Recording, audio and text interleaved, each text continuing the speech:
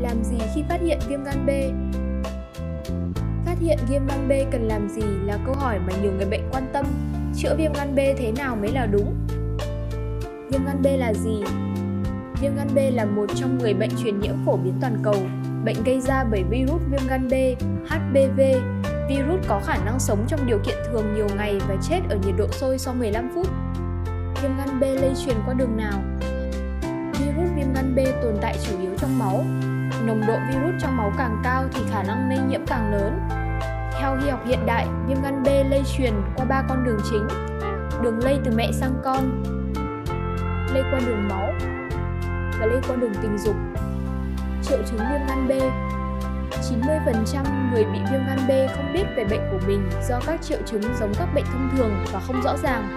Người viêm gan B có những dấu hiệu ban đầu như sau: mệt mỏi chán ăn, cơ thể suy nhược, rối loạn tiêu hóa, nước tiểu sẫm màu, đau tức hạ sườn phải, sốt nhẹ ban chiều, vàng da, vàng mắt, ngứa ngáy, mề đay. Điều trị viêm gan B như thế nào? Điều trị viêm gan B dựa trên tình trạng bệnh. Cụ thể, 1. Viêm gan B virus không hoạt động. Định lượng virus viêm gan B HBV DNA nhỏ hơn 10 mũ 5 copy trên ml.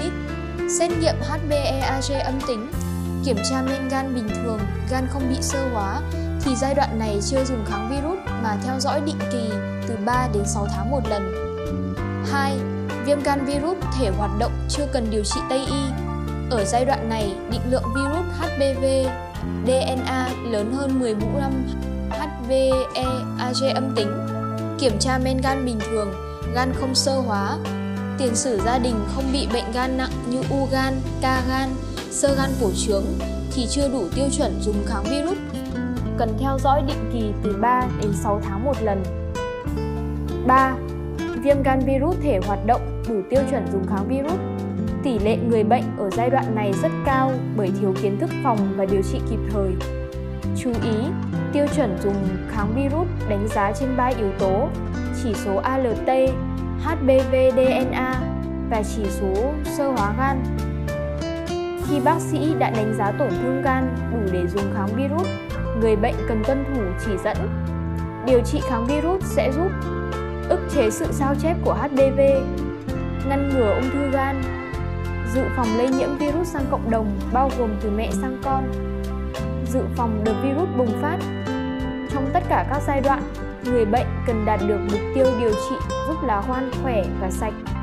Để lá gan khỏe và sạch, bạn cần chọn chế độ ăn uống, sinh hoạt lành mạnh, tránh xa rượu bia, mỡ nội tạng động vật, chọn thực phẩm tốt như thịt nạc, rau củ quả, tập thể dục đều đặn và đi ngủ trước 22 giờ. Ngoài ra nên sử dụng sản phẩm thảo dược đi sâu vào để nâng đỡ hệ miễn dịch, giúp tăng cường sức đề kháng, kháng lại và tiêu diệt virus.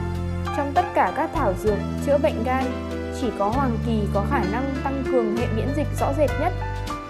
Với hoạt chất astragaloside đường 4, tác động trực tiếp lên tế bào miễn dịch, nhiễm sắc thể telomere C của tế bào lympho T, tế bào miễn dịch của cơ thể làm dài tế bào này, từ đó hệ miễn dịch được cải thiện.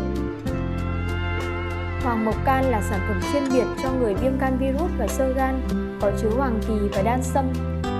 Nếu như hoàng kỳ đi sâu vào để nâng đỡ hệ miễn dịch, thì đan sâm giúp tăng cường lưu thông máu ở gan. Máu được lưu thông thì các hệ cơ quan sẽ hoạt động trơn tru hơn, các tế bào gan dần hồi phục. Các thảo dược trong hoàng mộc can được phối hợp dựa trên phương pháp cân bằng gan lách nghiên cứu 20 năm bởi dược sĩ Phạm Sa.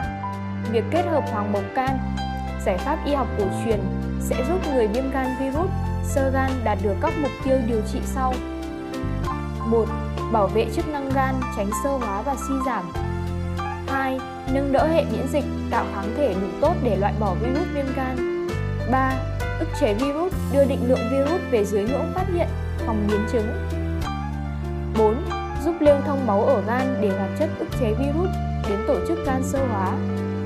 5. Giảm tác dụng phụ của kháng virus. Sau hơn 10 năm có mặt trên thị trường, Hoàng Mộc Can giúp hàng trăm người viêm gan virus thể không hoạt động ức chế virus, nâng cao miễn dịch, không để virus hoạt động. Đối với người virus thể hoạt động chưa cần dùng Tây y, Khi dùng hoàng mộc can, virus có thể đưa về không hoạt động, chức năng gan ổn định. Với nhóm virus hoạt động, phải dùng Tây y kháng virus thì sau 3 tháng có thể đưa định lượng virus về dưới ngưỡng men gan bình thường. Sơ gan giảm Chức năng gan hồi phục có khả năng xuất hiện chuyển đảo huyết thanh. Tùy vào từng thể trạng bệnh sẽ có hướng điều trị riêng biệt.